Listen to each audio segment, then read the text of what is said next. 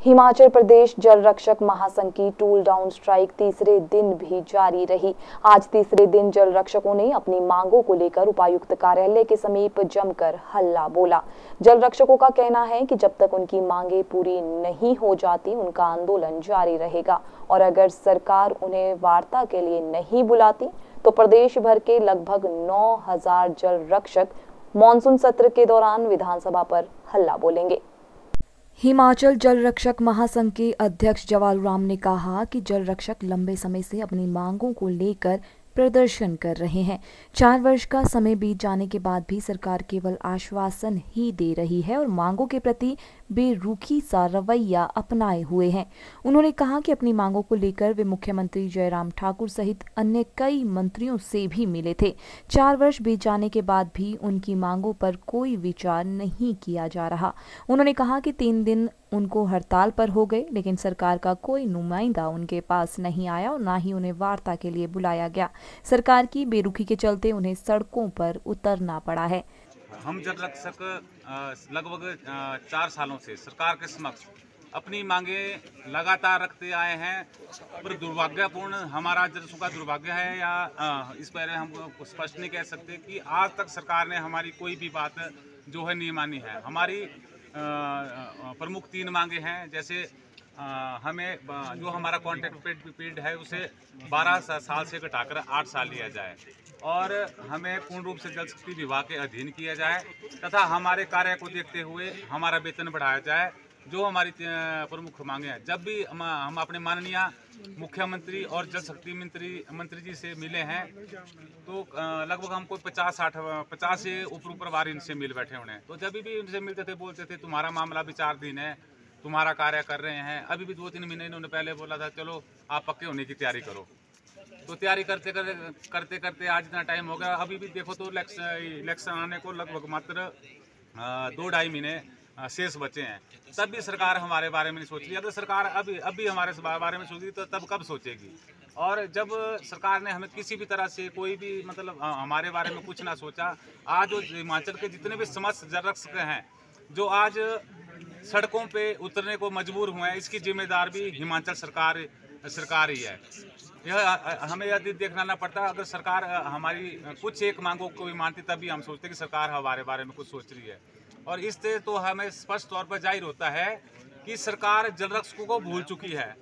उन्हें जलरक्षकों का पता ही नहीं अभी जलरक्षक के नाम की कोई चीज़ है। बस अपना जब बस सत्रह आया सौ रुपये बढ़ा दिया, दो सौ बढ़ा दिया तीन सौ रुपये पल्ला चढ़ा पल्ला आ, मतलब वेतनमान बढ़ाकर पल्ला झाड़ लिया। इस बार नौ सौ रुपये बढ़ाया बढ़ाया हुआ है वो क्योंकि केवल हमारा नहीं वो तो सभी का बढ़ाया हुआ।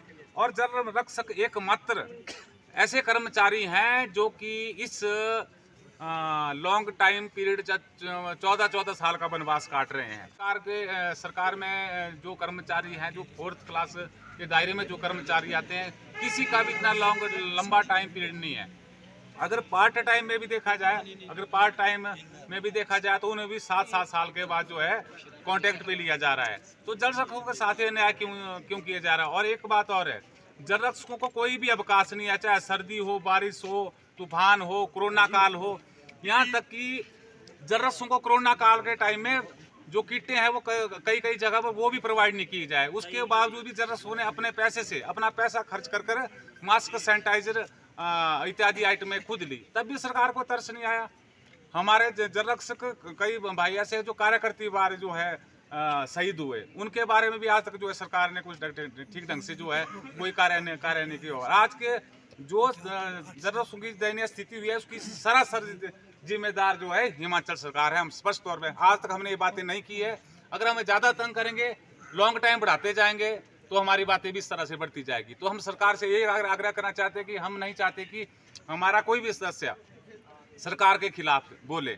अगर सरकार मज़बूत करेगी तो हम इसे जितने दिन बढ़ते जाएँगे उस हिसाब से हमारी बात, जो हमारे बीच में अंदर, जो हमारे जनों में गुस्सा है वो उससे ज़्यादा छलकता ही रहेगा।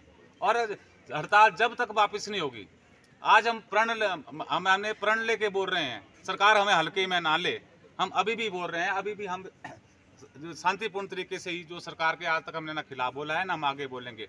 सरकार चाहे तो हमारे बंदों को बुलाए, वार्तालाप करे, जैसे सभी विभागों के साथ करती है, उस तरह हमारे साथ भी वार्तालाप करे, ठीक है? हमारे मंत्री जी हैं, सीएम है, हमने बढ़ाए हैं। हमने बनाया आज वो हम, सरकार को ही एक आम पब्लिक, एक एक जो है साधारण आदमी जो है एमएलए बनाता है। एमएलए के बाद मुख्यमंत्री जी बनते हैं, मंत्री बनते हैं। वो इसलिए बनाए जाते हैं कि वो सरकार चलाए, हर एक वर्ग को देखे।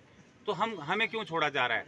इसलिए हम अब अब दोबारा अपने माननीय मुख्यमंत्री जी और माननीय जल शक्ति मंत्री जी और तमाम इनके डायरेक्टर तमाम इनके चेयरमैन मैक्सिमम से हम मिल चुके हैं। हम अभी भी आग्रह करते हैं कि जो भी है, आपको लगता है, जो भी हमारे बारे में पॉसिबल लगता है, जो जायज़ है, उसे तुरंत प्रभाव से लागू करके हमारी नोटिफिकेशन की जाए। हमें इस झंझट से मुक्त किया जाए, हमारे एक एक जलरक्षक को शिमला आने पे तीन, चार चार चार हज़ार रुपये खर्चा पड़ रहा है। अभी भी हम सरकार को बोल रहे हैं तो हड़ताल जारी रहेगी, चाहे महीना लग जाए। हमारे मीडिया मीडिया प्रभारी मीना जी स्पष्ट तौर पे कह दिया कि जब तक हम यहाँ से नहीं लेंगे, जब तक जो है, हमारी मांगे नहीं मानी जाती है। और आने वाली विधानसभा सत्र भी चढ़ने वाला है। हमने आज ही बोल दिया, दस तारीख से हिमाचल के समस्त जल रक्षक विधानसभा खराब करेंगे। Bureau report city channel Shimla.